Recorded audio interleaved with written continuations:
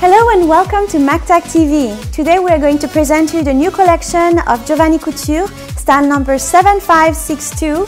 It's a beautiful empire waistline, very romantic, all ruched onto the bustier top uh, and uh, it's going to have this gorgeous uh, uh belts, uh, empire waistline. So what happens here is that it's going to take Nikki in, which doesn't need anything, but it's going to take you in on the waistline, so it's going to show off your waist, the smallest part of it. So this dress is going to look flattering on anyone.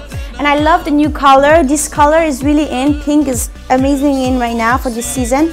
And uh, it's a very flowy dress, right, Nikki? Yes. Yes? Do you love that dress? Mm -hmm. So let's show off the train in the back. This dress actually has a train in the back, which is going to be, uh, okay, which is going to be actually really romantic when you're gonna walk away.